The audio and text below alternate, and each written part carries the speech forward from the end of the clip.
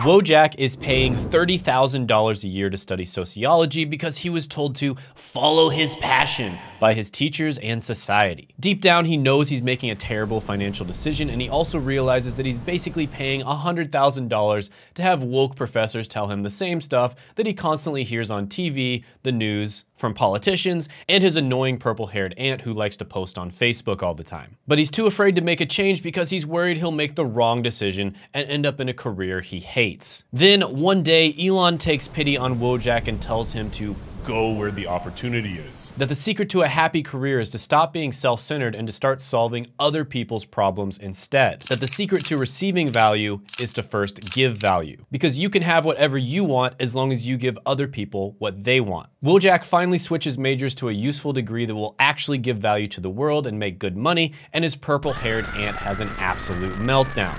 Wojak ends up landing a great job that actually gives value to society, makes a ton of money, and lives a great lifestyle. He looks back on his friends who got useless degrees and all of them are stuck in dead-end jobs, working at Starbucks or in a cubicle. So I've said many times on this channel that the only reason you should go to college is if it's going to help you achieve your goals in life. And instead of focusing on a college major, what you should do is look at the career that you wanna go into and then figure out which major is going to help you get into that career. And in some cases, you won't have to go to college. But there are some degrees that almost always lead to high paying jobs. And the first one on the list, number 10, is going to be Management Information Systems or MIS. So an MIS degree is basically a combination of technology and business, and it teaches you to solve business problems using technology, specifically with an emphasis on data. And I've talked about data on this channel before. It's more valuable than oil or gold. An MIS is kind of like a compass for a ship. Just as a ship's compass would guide a ship through turbulent waters, MIS guides a company through the complex world of data and technology. Now, the median base salary here is gonna be for entry-level jobs only. So it might seem a little bit low, but keep in mind this is for an entry-level job, and that is going to be $58,000 a year. Some popular entry-level jobs will be network administrator, help desk analyst, and business analyst. Now, in the book, The Millionaire Fastlane by MJ DeMarco, which by the way, is one of the best personal finance books of all time. He basically says there are three different main financial paths, the sidewalk, the slow lane, and the fast lane. So the sidewalk is for people who don't make very much money. They don't really understand how money works or personal finance principles. They spend more than they earn. They make bad decisions. They get deep in debt and they either have no job at all or they have a low income job. So they never really make it to their destination by using the sidewalk. Now the slow lane is for people who have a decent job and they do eventually make it to their destination, AKA retirement, right? So they probably invest their money. They have a 401k, they have a Roth IRA. And after 40 or 50 years, they get to retire when they're probably too old to actually enjoy it. And the fast lane is for people who start a business,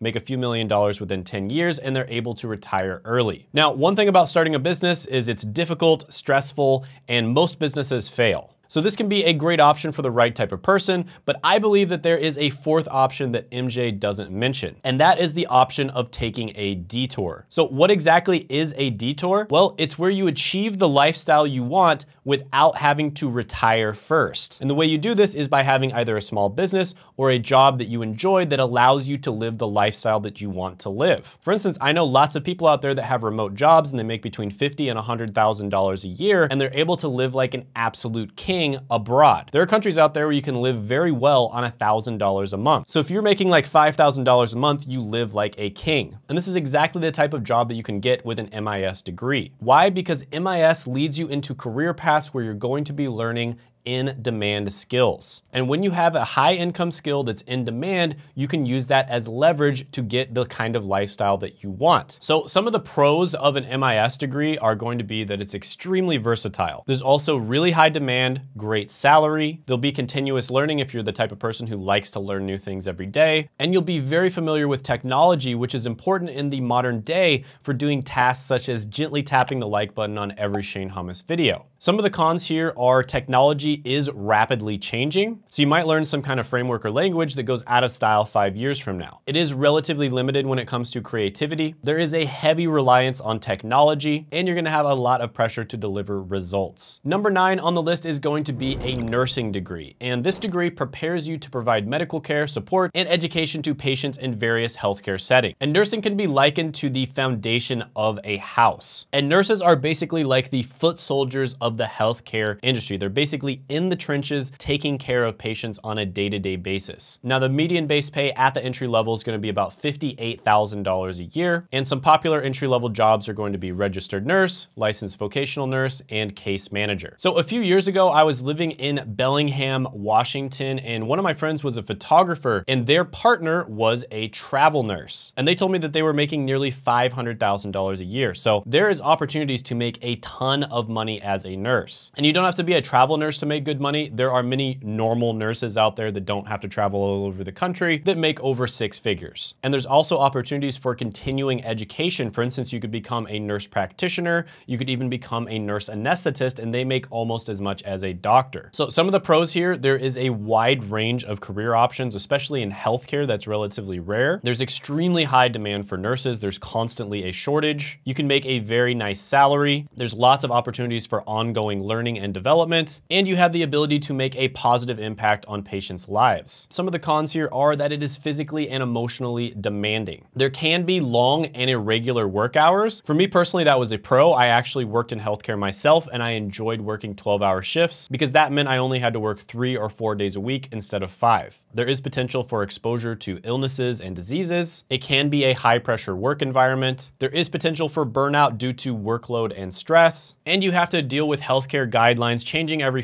five seconds when the scientists that are definitely not biased and definitely not getting paid by Big Pharma decide that the guidelines should change. Number eight on the list is going to be statistics, and a statistics degree is going to teach you how to collect, analyze, and interpret data to make sense of patterns and trends. And the way I like to look at statistics is it's almost like a key that unlocks the secrets of data, right? Just like a locksmith with the right key can unlock a door, a skilled statistician can use their knowledge and tools to extract valuable insights from a data set. So the median base pay here is 60,000 at the entry entry level. And a popular entry level job is going to be data analyst. So some of the pros here are you will learn versatile skills. Just about every industry out there uses data. There is high demand for statisticians and it gives you the ability to make data driven decisions. Some of the cons here are it does have the potential for isolating work. It can be difficult to communicate complex statistical analysis to people who don't understand statistics. Some of the jobs can be pretty high pressure. And of course, there's math.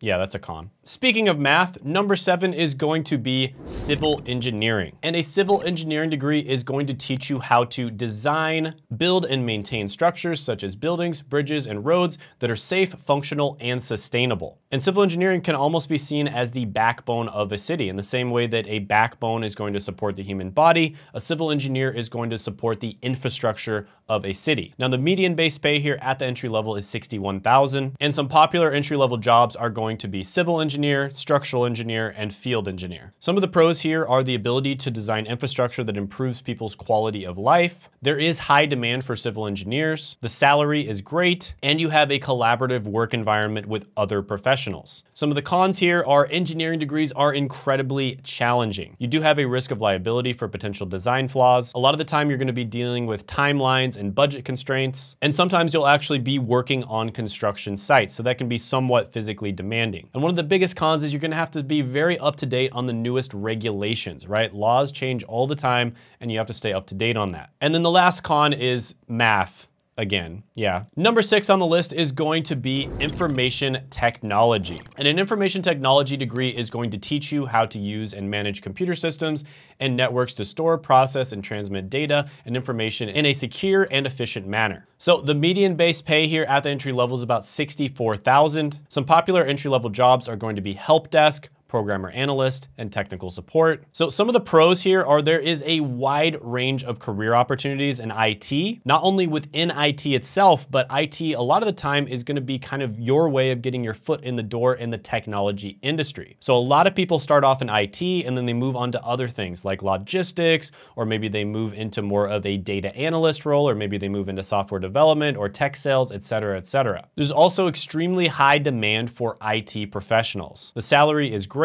There's lots of opportunities for ongoing learning and development. You get to work with cutting edge technology. So if you're the type of person who really likes tech, you basically like to have the newest phone, the newest computer, the newest NVIDIA graphics card or whatever, this might be a good career for you. And another pro is there's not as much math. Some of the cons are that it is a rapidly changing technological environment. Technology is evolving and changing incredibly quickly. You know, five to 10 years ago, just about every company is probably going to be using AI, for instance, to make their entire process just much more seamless. So that's something that as an IT person, you're probably gonna have to get used to. It can be somewhat isolating. That could be a pro or a con depending on what you like. One big con is you don't actually have to get a college degree in order to get into IT. That doesn't mean that getting a college degree is a scam, but you don't have to get it. So for instance, a few months ago, I interviewed James on the channel who was able to get into an IT job in just a few weeks without a college degree or previous experience, and he didn't even have access to a computer. He literally did it with just his iPad. And I interviewed him about how he was able to do that,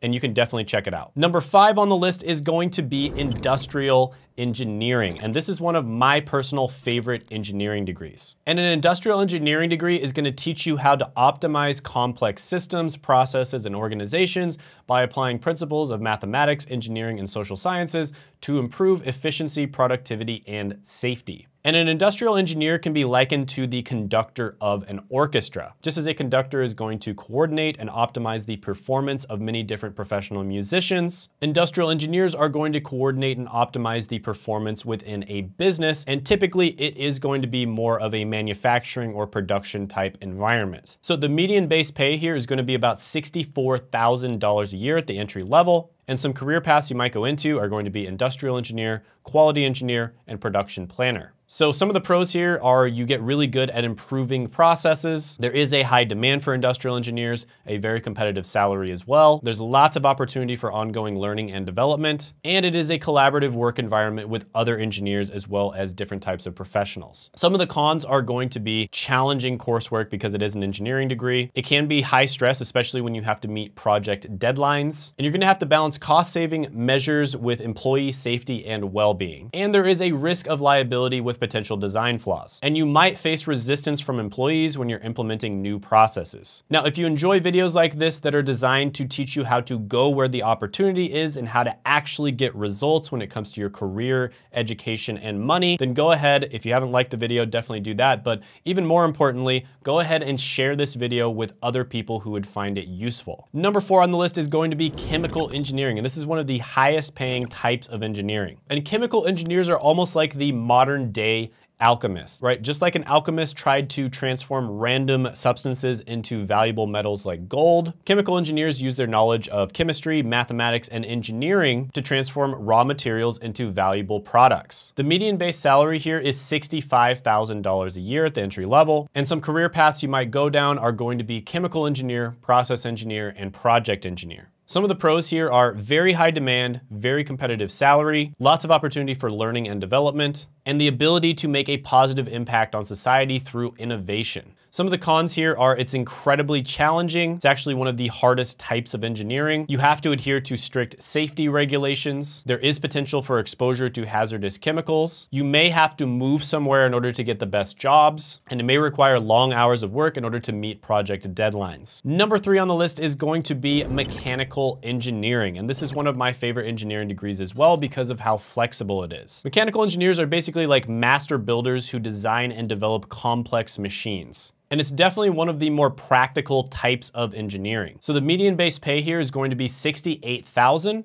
Some of the most common jobs you might go into would be mechanical engineer, design engineer, and project engineer. And some of the pros of this one are going to be the ability to develop a wide range of mechanical systems and products. There's high demand, it's extremely competitive when it comes to the salary. It's one of the most flexible types of engineering degrees as well. Some of the cons here, the coursework is very difficult, just like the other engineering degrees. It can be somewhat difficult to get your first job at the entry level. Once you've got some experience, it's really easy, but that first job can be a little bit more difficult. And you're gonna need to keep up with rapidly evolving technology and regulations in some cases as well. Number two on the list is going to be electrical engineering. And this is one of the ones that made it into S tier in my engineering degree tier list. And it basically teaches you how to design, maintain, and develop electrical systems. And as an electrical engineer, you're almost like a wizard that harnesses the power of electricity. I mean, think about it. If you took electricity, like lights for instance, you went a thousand years in the past and you showed them that, they would literally think that it's magic. Now the median base salary here is 68,000 at the entry level, and some of the most common jobs you might get into are electrical engineer, systems engineer, and software developer. Some of the pros here are going to be the ability to design and develop a wide range of electrical systems and products. There's a high demand for electrical engineers. The salary is great. There's lots of opportunity for ongoing learning and development. In fact, lots of electrical engineers end up working as software developers, for instance. And you have the ability to work with cutting edge technology. And that would give you an advantage even if you decided to work in the software development industry because of the fact that you have that background in electrical engineering as well. Some of the cons here are, yes, it's very challenging. In fact, it is one of the more difficult types of engineering degrees. And honestly, there's not that many other cons because of how flexible it is. But number one on the list is not gonna be a surprise to anyone, and that is going to be computer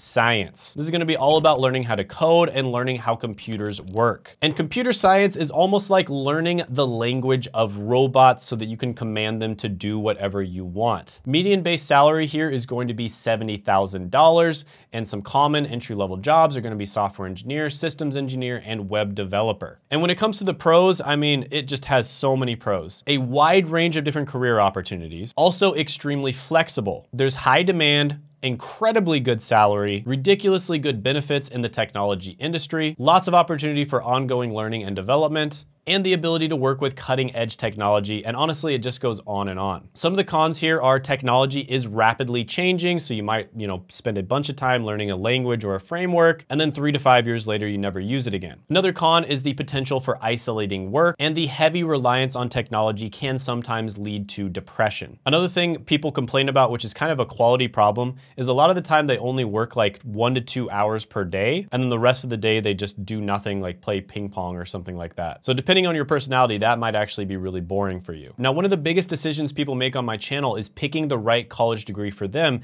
And that's why I created the ultimate college degree guide to help you pick the perfect degree for you. Click right here to check it out.